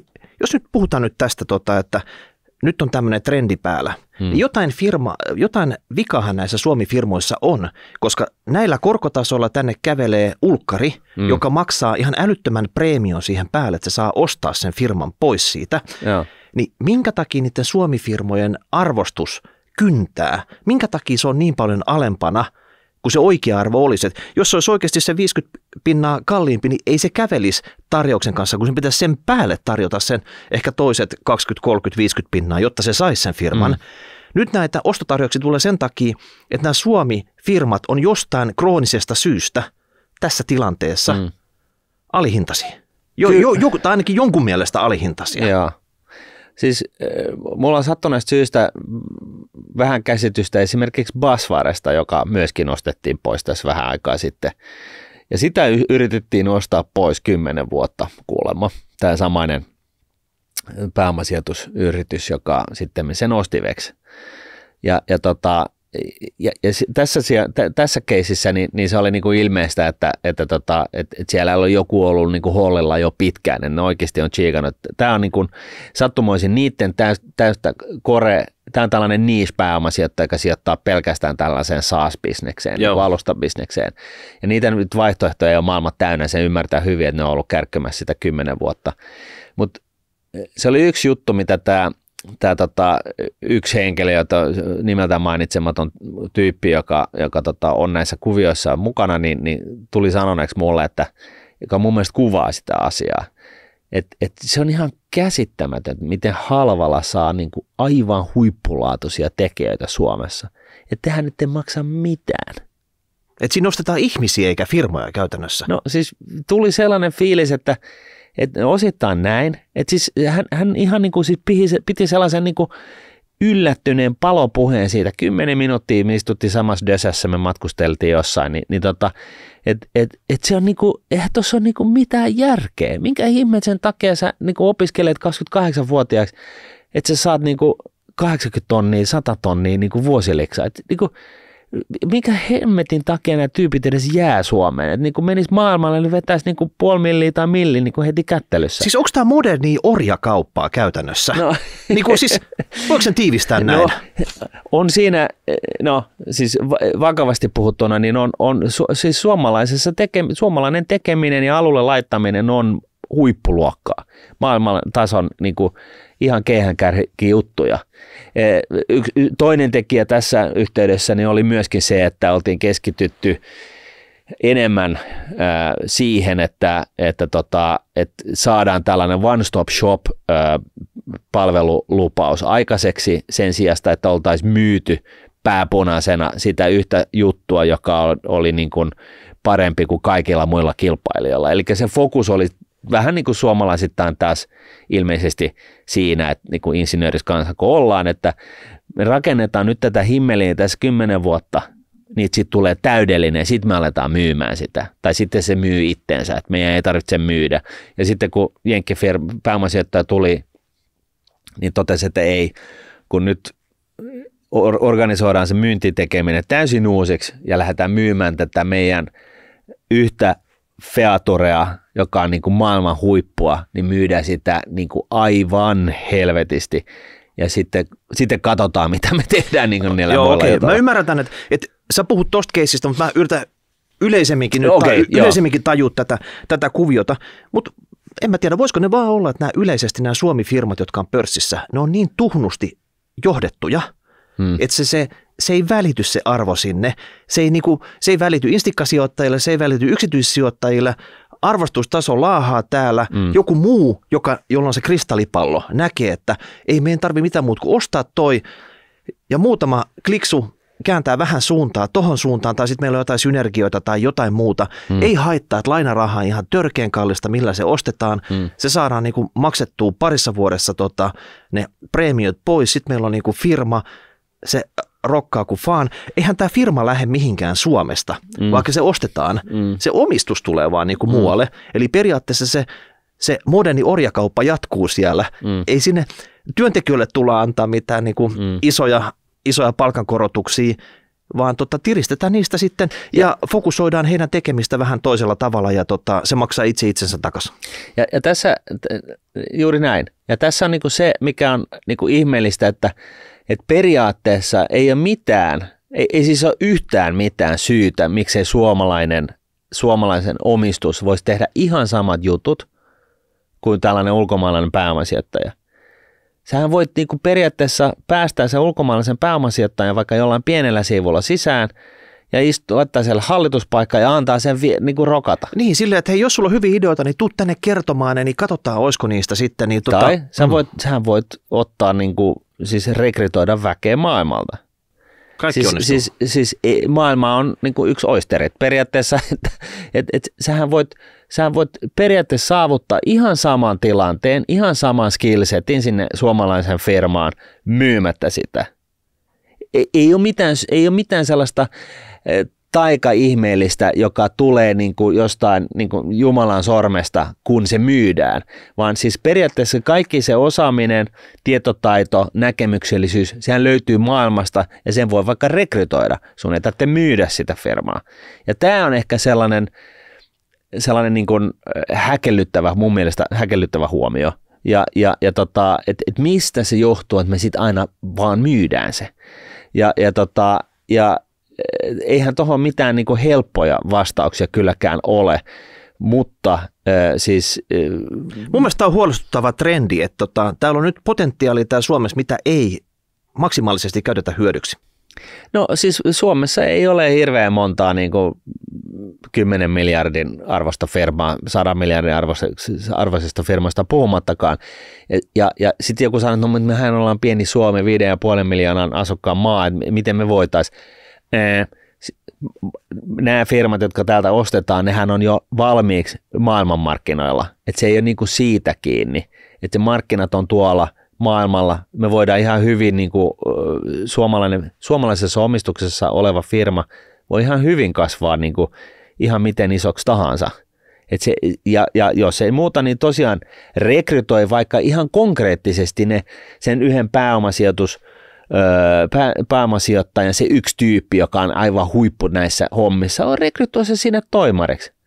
Siis iske sille viisi milliä käteen ja sano tervetuloa ja, ja, tota, ja, ja, ja näin. Et, niin se on halvempaa antaa sille 5 milliä kuin myydä firma halvalla ja, niin kuin ja, 100 milliä alehintaan sitten pois. Ei se, ei se 100 milliä alehinta riitä.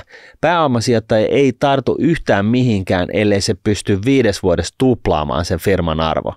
Mm. Siis se, se on ihan absolute no-no. Jos ei se niinku, vi, niinku, viides vuodessa tuplaa sitä firman arvoa, niin, niin sitten se ei koske siihen. No se on, ja, se on... Ja, ja tavoitetila on se, että se kolminkertaistaa sen, hin, sen, sen arvon niin kuin, ainakin. Niin ja optimaaliset skenaariot sitten 5 tai 5 tai 10 kertaisia. Ei, tätä tehdään koko ajan. Joo, Kaikki joo. pääomasijoittajat, ne, ne nimenomaan, siis tämä on se, jos sä katsotte minkälaisia irrejä ne, ne, ne saa aikaiseksi. Jotkut huippufirmat 30 prosentin vuotuisia ir, siis irreitä vuositasolla tuotto laske siitä kahdeksan vuoden holding periodille 30 prosentin irri. Mm. Se on muuten aika moninkertaistunut se firman arvo siinä, siinä vaiheessa. No mutta hei, me tarkkaillaan tätä, kun hai laivaa, laita kommenttia, ootko sinä huolestunut tästä, että näitä oikeasti poimitaan täältä, mitä pitäisi tehdä, mm. mikä näiltä firmoilta puuttuu, koska ne tullaan tällä tavalla vaan niin kuin poimimaan sitten, että, tota, että mitä me voidaan nyt kertoa firmalle, mitä niiden pitäisi tehdä, koska sehän saattaisi vaan pompsauttaa firmojen arvoi jotakin, mm. jos on joku helppo keino tehdä tälle. Mutta mennään eteenpäin.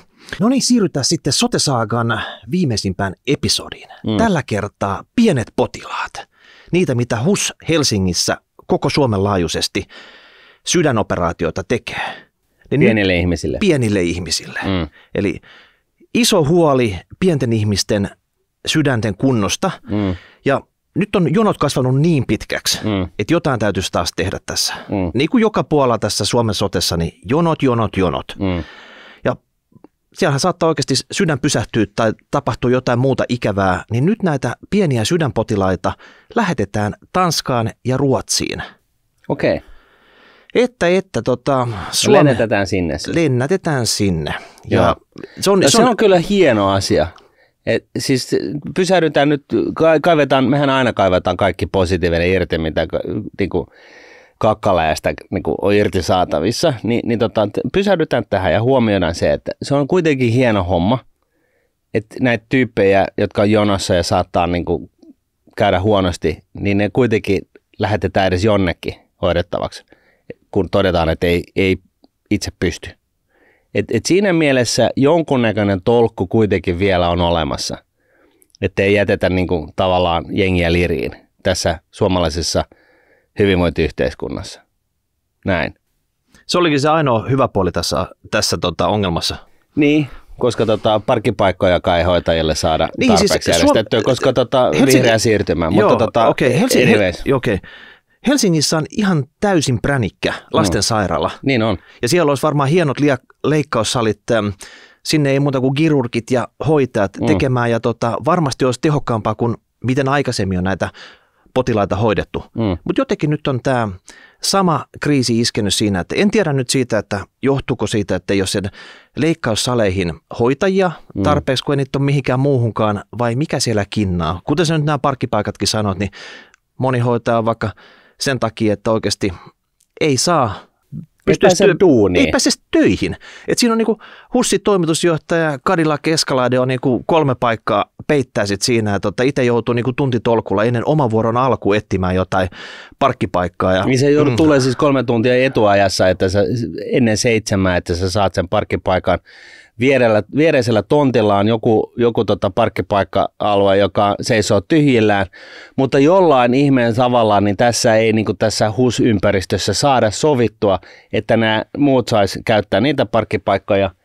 Niin näin ollen, niin, niin nyt sitten tällainen tilanne, joka ei yksi, yksistään ää, aiheuta sitä, että hoitajat lähtee, mutta se on nyt myös yksi lisä siihen niin kuin toimimattomuuteen, kun mikään ei toimi, niin tota, miksi jengi sitten lähtee. ja kukahan tässä nyt on niinku vastuussa tästä, tästäkin ongelmasta? Mm.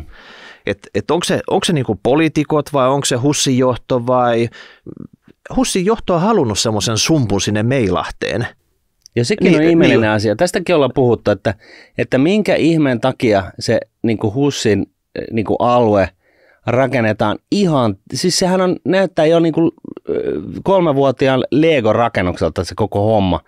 Siellä on taloa niin kuin puolen metrin etäisyydeltä toisil, toisistaan niin kuin rivi rivissä päällekkäin oikealle vasemmalle joka suuntaan. Onko tässä niin kuin joku tällainen, että et, et, et jos nyt sattuisi syttyä joku kriisi, niin tämähän on tosi helppo niin kuin poistaa se Niin. keskussairaala olemasta. Yksi pommi tuohon ja mikään ei enää toimi. Niin tarviiko se, joka tulee sydänleikkauksen, tarviiko hän tekoniveleen samalla käyntikerralla siitä viereisestä rakennuksesta? Mm. Mm. Miksi nämä ei voi olla niin kuin jotenkin järkevästi ripoteltu eri paikkoihin? Että tota, Edes jollain tavalla. Et, kyllä mä ymmärrän siis skaalaedot, mutta, mutta siis se, se niin polvinivelleikkaus, ei, si- siitä ei saa mitään skaalaetua siihen sydänleikkausniveleen, tai siis sydänleikkaukseen nähden. Mut, Näin. Mutta mut mun mielestä mielenkiintoisin juttu tässä oli, että joku Hussilta sanoi, että itse asiassa kustannukset ei hirveästi eroa siitä, että lähetetäänkö se Tanskaan tai Ruotsiin, tai tehdäänkö se itse täällä. Että, Aha. niin, niin loppupeleissä, olisiko tästä nyt ratkaisuksi isomminkin Suomen terveydenhoitoon, Mm. lähetetään kaikki jonnekin muualle hoitoon. Vähän niin kuin saksalaiset sen ydinvoiman kannalta, niin, niin tota, Mm. suljetaan koko systeemi ja sitten tota noin, niin kaikki nuhat ja, ja tota, ää, allergiavoitteet hoidetaan niin kuin etäyhteyksiin ja sitten jos on tarvitsee saada laastari, niin lennätetään Tukholmaan. Mieti nyt sitä, Mm. että vaari, siinä vaiheessa kun se joutuu tota vaikka viimeisillään sitten vuoden lepoon sairaalaan, Mm. jos hän sen sijaan, että hänet nyt makutettaisiin jossain niin kuin tota, päivystyksen alaolossa täällä Suomessa, Mm. niin hänet lähetettäisiin sinne lämpimään Taimaaseen. Mm. Siellä hoitajat pitäisi hänestä hyvää huolta. Se olisi todennäköisesti, tiedätkö mitä, Mm. se olisi todennäköisesti halvempaa. se olisi varmaan halvempaa. Siellä niinku hy, hymissä suin monta hoitajaa pitää vaarista huolta ja siis siinä ei ole kuin happy ending tässä, tässä hommassa koko. Ei juuri näin. Eikö siis, siis rakennetaan suomalaisen terveydenhoitoon niin kuin tällaisia etäpesäkkeitä tai maahan ja muihin kivoihin paikkoihin, niin kuin minne sitten saa niin kuin one way ticketin. Saattohoitokeskus on Bora Boralla ja ja tota noin, niin, äh, tota noin, niin, tällaiset äh, kroonisesti kipeät nivelet on Taimaassa ja, mm. ja, ja näin. Ja hoidetaan ne niin kuin sitten paikallis, paikallisin voimin. Sen sijaan, että tämä työperäinen maahanmuutto Kiinastelukin loppuu siihen, että ei oteta niitä tekijöitä tänne, vaan siirretään ne niin kuin potilaat sinne. Ja sitten tota, sit vaari pistetään krematorio siellä ja lähdetään urna takaisin sitten, kun tota, homma on paketissa. Jollain laivalla. Jollain, jollain laivalla. Niin mm. tota, siis tällä, ei lentokoneella, koska sä tiedät niin kuin ilmasto, ilma, niin, ilmastotekijät ja kaikki, että tota, mm. ei muuta kuin johonkin konttiin sitten se urna ja sitten se on täällä ja sitten täällä voidaan sitten omaiset pitää jonkunnäköisen. Ja muutama kuva sitten siihen pyörimään, miten Vaari oli hymissä suin sitten viime hetket siellä Taimassa.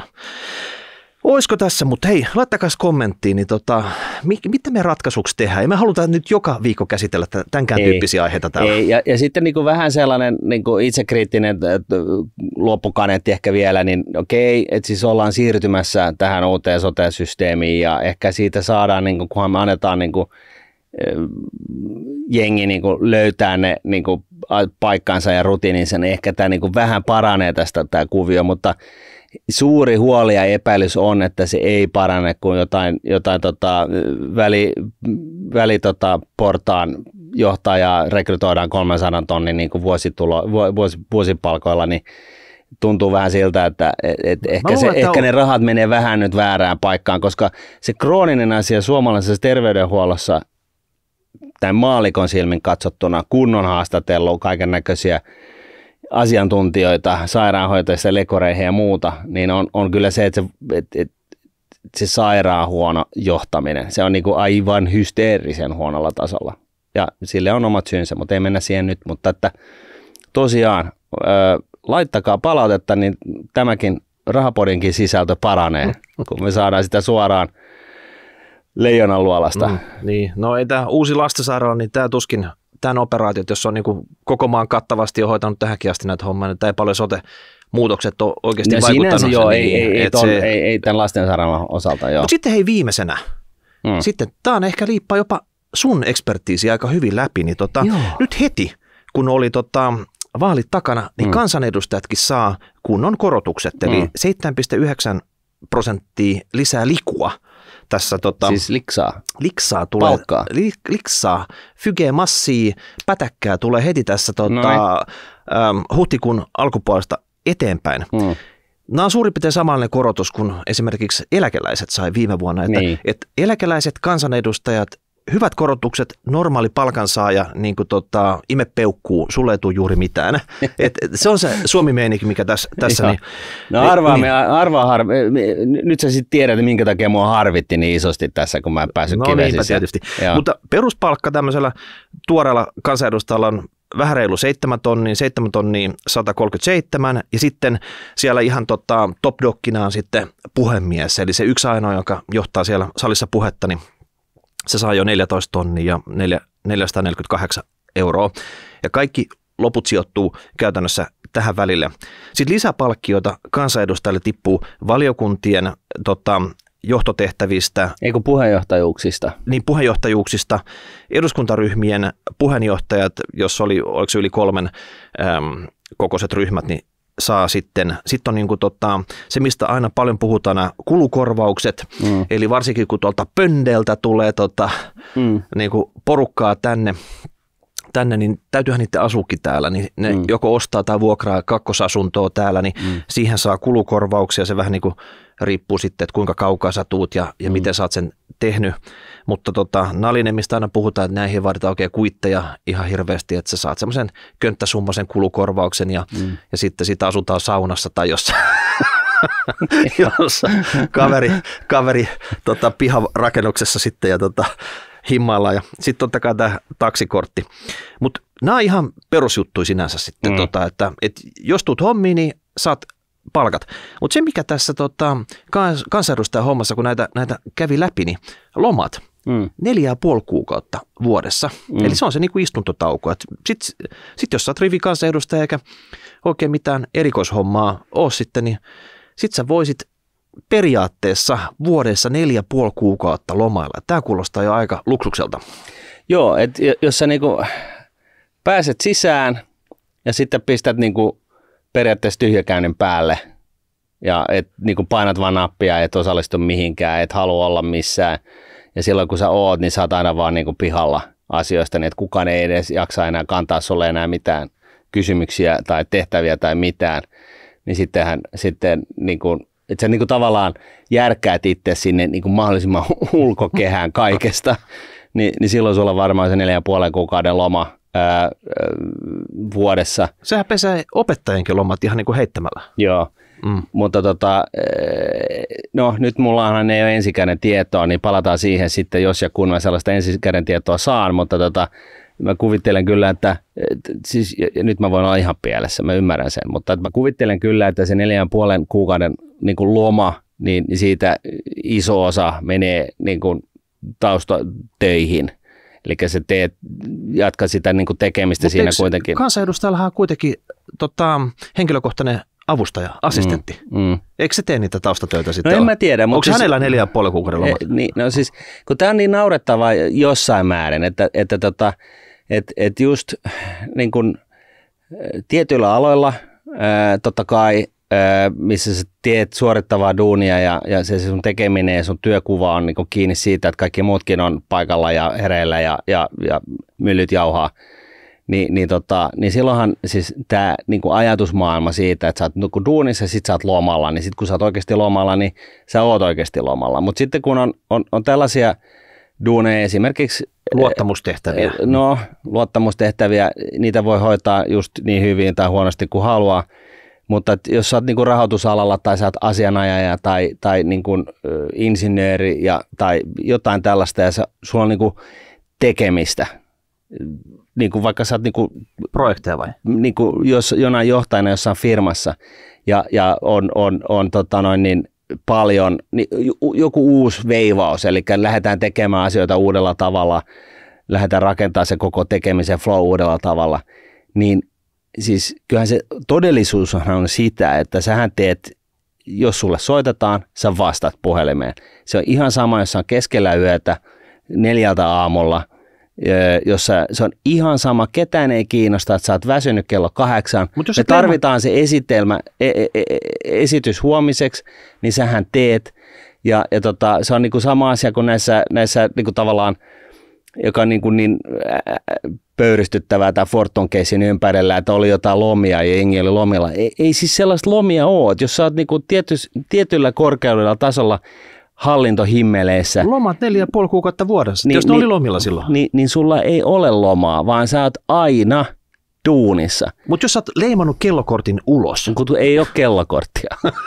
se, se on se pointti. Että, että kun Työaika, sä oikeasti ihan niin kuin pienessä, pienestä firmasta lähtien isoihin firmoihin asti, niin, niin sähän hitto soikoon, niin sähän vastaat siihen puhelimeen ihan jokaisella niin kuin, ö, vuorokauden tuntina sä teet sitä, mitä sulta pyydetään. Se on ihan sama, oot sä lomalla vai etkö sä ole lomalla. Sun kannattaa miettiä se sitä sun lomaa sillä tavalla, että sä mietit sen sillä tavalla, että okei, mä otan sen tossa sen loman – niin se eka viikko lomista menee duuniin, sitten mulla on, niin kun, sitten muutkin on lomalla, niin silloin voidaan tehdä jotain jännää, lähteä jonnekin matkoille kahdeksi viikkoa, ja silloinkin mä todennäköisesti joudun vastaan niin erinäisiin puheluihin. Ja sitten se viimeinen viikko siitä mun lomasta, niin se menee taas duuniin, koska sitten toi palaa, ja sitten me te- lähdetään valmistaa tätä asiaa, joka pitää olla valmis siinä vaiheessa, kun mun loma loppuu. Martin, mä en halua sua Fortumin hallituksen puheenjohtajaksi, jos mä oon itse toimitusjohtajana siellä, koska sä vaikutat ilkeältä ihmiseltä. Että, e, tota, siis, et, et, Miikka, näin tämä menee. Ai tämä menee näin Sen sitten. takia, niin kun, sen takia niin kun, ja, ja sitten kun sulla on, kun sä oot ensin osoittanut sen viimeiset 20 vuotta, että sä oot tällainen, että sä ymmärrät tämän jutun, että kun, kun se Urpo puheenjohtaja soittaa keskellä että hei, mä näin just unta ja siitä tuli mieleen, että mitä jos me tehtäisikin näin tätä asiaa, niin sitten se on sun homma, sillä hetkellä käyttää sellainen puolen tunnin puheenvuoro siitä, että miksi tämä puheenjohtajan idea on ihan syvältä ihan väärä ja saada se puheenjohtaja keskellä yötä ymmärtämään, että se on näin, suututtamatta sitä puheenjohtajaa ja, ja sitten siitä ja, ja saada sen taas uudelleen unten maille niin, että se homma jatkuu ilman, että, niin että se tekeminen ei poukkoile koko ajan joka suuntaan. Tämä on niin kuin se toimarin homma ja siitä hyvästä maksetaan, jos sä oot hyvä tässä hommassa ja sulla on myöskin näkemystä siihen bisnekseen ja sä oot osoittautunut, että sä saat ihmisiä tekemään niin kuin sä toivot. Siis ei ole sellaista käskyvaltaa, että sä vaan sanot jengille, että nyt tehkää enemmän duunia. Sellainen ei toimi, jengillä vaihtaa duunia, sen jengi sanoo, että ei, ei tehdä et, et, kun sä oot osoittanut, että sä saat jengin oikeasti muuttamaan suuntaan, juoksemaan jonkun uuden niin kun, tavoitteen perään, niin kyllä sulle sitten kuuluukin maksaa niin kuin isot liksat siitä, kun sä toteutat sitä uutta hommaa. Mutta sitten jos sä ryssit, huono valinta. Sitten jos sä mokaat, niin, niin, tota, niin sitten sä kanssa lähdet siltä istumalta. Sitten puheenjohtaja soittaa sanoa, että hei, että by Niin, the se way, että, deal, että et, et, niin kuin toi, toi Uniper-keissi, niin se, et sorry, että su, avaan ei toimi enää, että Mm. jää himaa. Joo, et, et nyt voit ottaa ne pidemmät lomat sitten. Joo. Mutta hei, nyt mentiin vähän sivuraiteille, palataan takaisin tähän nyt kansanedustajan likuhommaan. Mutta se, kun, se kun sidotaan se tähän likuhommaan, niin se pointti on se, että kun sä oot kansanedustaja, niin sä oot niin kuin valtion koneiston niin kuin ylimmällä pakilla. Ja silloin sä oot isänmaan, isänmaalla duunissa. Ja se on niin kuin, jos jotkut urpot juristit tai insinöörit tai rah- rahiksen superleijonat tykittää niin kuin ympärivuorokauttisia duunia aina silloin, kun tarvitsee valittamatta sanallakaan, niin sori vaan kansanedustajat, se koskee myös teitä. Et näin se vaan on. Ja jos hallitusohjelmassa on jotain tavoitteita, toivon mukaan siellä on, niin jos ne ei ole vielä valmi, valmiita ne kaikki tavoitteet, niin se tarkoittaa sitä, että se neljän ja puolen kuukauden aikana, niin sä voit pitää sen neljän viikon lomaa ja ne muut kuukaudet, niin, niin sulta odotetaan kyllä mun mielestä sitä, että sä edistät niitä hallitusohjelman tavoitteita koko ajan. No, tarkkaillaan mitä tulee käymään. Mm. Tässä on vielä sitten, että tota, jos sieltä eduskunnassa tipahtaa, niin sekä ei ole niinku katastrofi, koska siellä on tämmöinen sopeutumisraha. Onko se sopeuttamisraha? Sitä saa 1-3 vuotta sen jälkeen, kun on Mi- tipahtanut. mistä se y- ykkönen viiva kolme vi- riippuu? Se, se riippuu vissiin, että oot sä ollut, oot, oot ollut siellä tota neljä vuotta Okei. vai 16 vai jotain siltä väliltä. Tai sitten se voi olla niinku harkinnanvarainenkin, en mm. mä Mm. ihan varmasti tiedä. Mutta sitten myös, että sitä saa eläkeikään asti, jos silloin kun sä aloitat tämän Mm. sopeuttamisrahan, niin sä oot jo yli 59. Että mm. Se on vähän semmoinen eläkeputki, mikä poistettiin käytännössä niin kuin muilta, Mm. mutta elitille se jätettiin vielä jäljelle. Mm. Että et tämäkin voisi olla ihan oikeasti, että kyllä varmaan viisi ysinä, jos sä oikeasti tuut sieltä eduskunnasta ulos, sä oot fiksusti tehnyt hommia, nyt ei vaan natsannut, niin kyllä sulle varmaan riittäisi jotain yövartijajuttuja vielä tota, tuolla, tuolla. Ei sun tarvitsisi jäädä nyt ihan niin kuin pelkästään niin kuin sohvalle makoilemaan. Niin, tai mäkkäriä tai jotain. Niin. Joo. Mutta sitten vielä vikana eläkekertymä. Eläkettäkin saa tässä tota kansanedustajan hommassa, Mm. ja sitähän tulee. Sitä tulee itse asiassa 4 prosenttia tästä palkkasummasta. Ja 4 prosenttia, Oho, ei. 4 prosenttia on siihen nähden hyvä, että normi, tämmöinen tota, ahkera työmuurahainen, niin kuin sinä Mm. tai minä, me saadaan vain 1,5 prosenttia sieltä palkkasummasta. Joo. Ja koska tämä kansanedustajapalkka totta kai on, niin kuin, se on reilu tupla tämmöiseen normaali mediaani työläisen palkkaan nähden, Mm. ja sitten tämä kertymäkin on niin kuin paljon parempi 4 prossaa versus tämä 1,5 prossaa. Se tarkoittaa sitä, että kun sä oot neljä vuotta kansanedustajana, niin sä saat käytännössä semmoisen palkka, ei kun eläkekertymän, Mm. joka lähes niin kuin tonni, joka suhteutuu siihen, että mediaani työläinen joutuisi 19 vuotta tekemään hommia, Mm.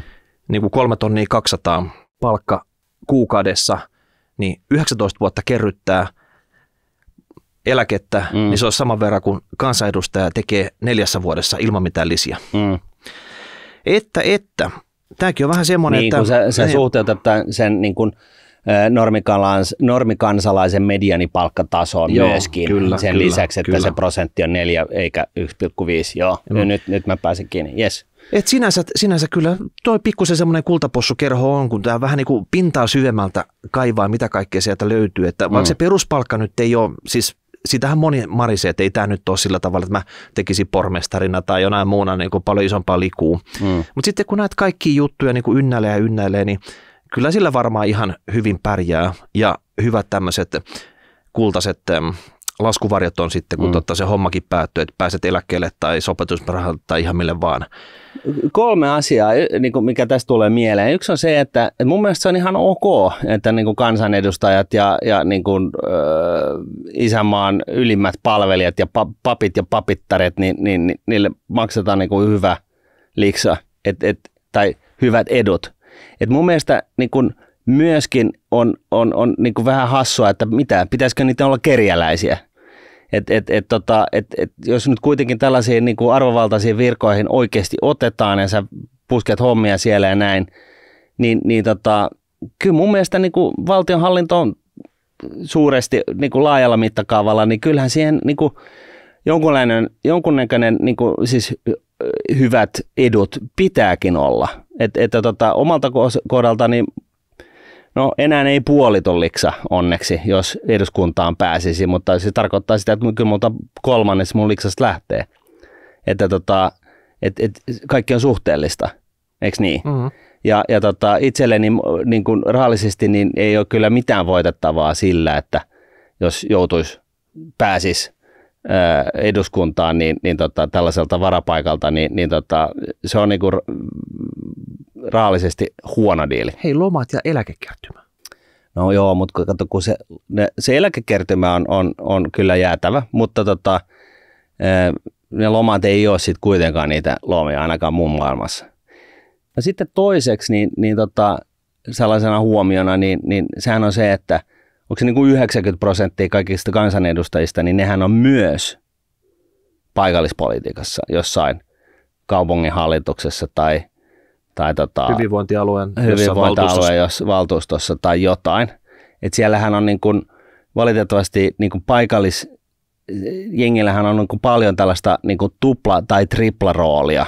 Niin tiedä, mikä hattu päässä siellä itse asiassa joka, joka on sinänsä mun mielestä vähän kyseenalaista, että jos sä oot eduskunnassa, niin sun pitää ajaa Suomen, koko Suomen etua. Se on vähän niin kuin presidentti, että et sä voi sitten olla niin kuin kauniaisen kannalla kaikesta. Mm vaan, vaan, vaan tota, jos sä oot eduskunnassa, niin sun pitää niin kuin ajaa puhtaasti koko kansan etua sen sun ö, parhaan ymmärryksen pohjalta. Et siis kaikki muuhan on niin kuin periaatteessa ö, luottamustehtävän niin kuin laiminlyöntiä.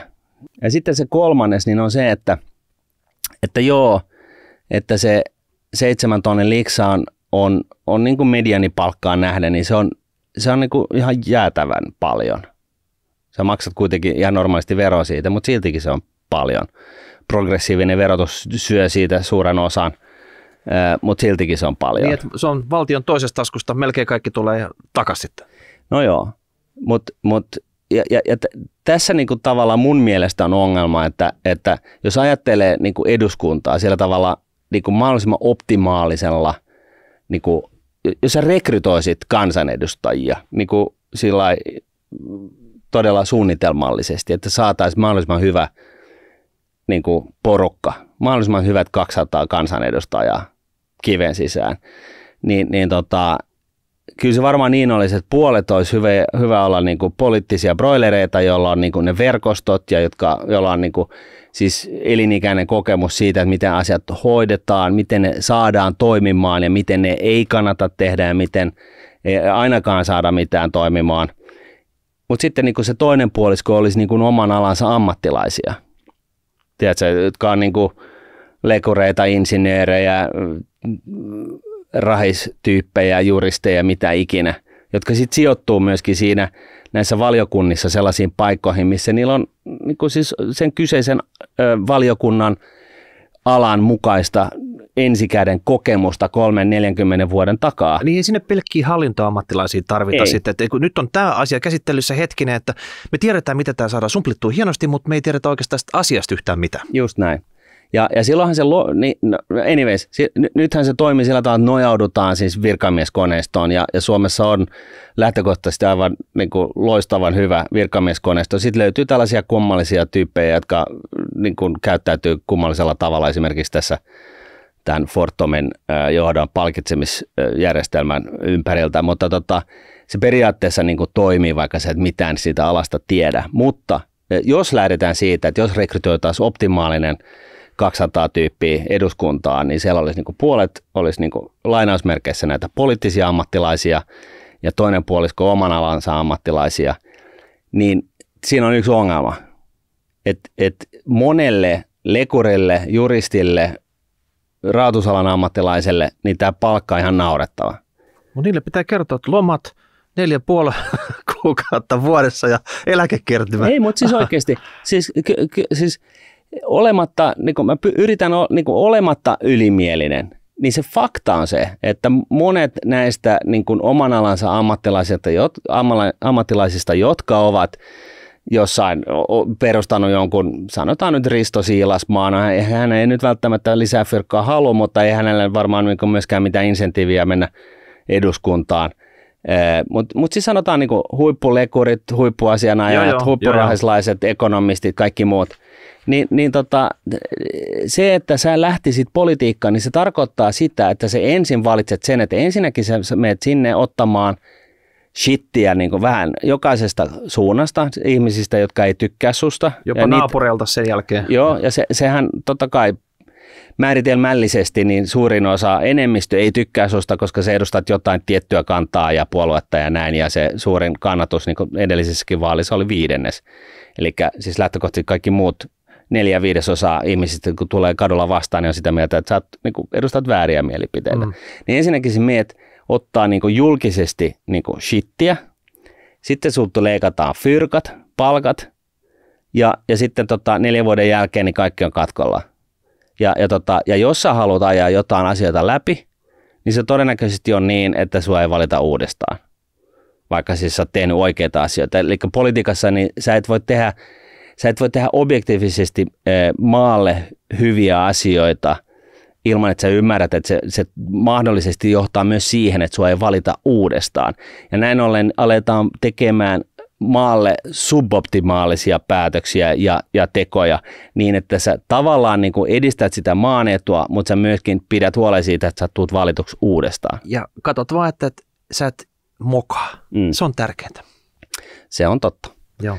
Ja näin ollen, niin, niin tämä ei ole ihan helppo yhtälö, mutta tota noin, niin näillä mennään. Katsotaan hei, jos me saadaan tämä yhtälö, tämäkin yhtälö ratkaistu. Kyllä. Nyt ei muuta kuin tota, iso setti oli, nyt saatiin kevään rosteri tyhjennettyä. Nyt voidaan taas tarttua johonkin yhteen isoon aiheeseen tästä eteenpäin sitten. Että laita palautetta hashtag rahapodi, rahapodi.nuude.fi, pistä tubeen, pistä pilveen, pistä someen, ihan sama mitä kautta, niin saadaan tietoisuusta, niin tota, mitä olet mieltä? Moi moi. Moi. Rahara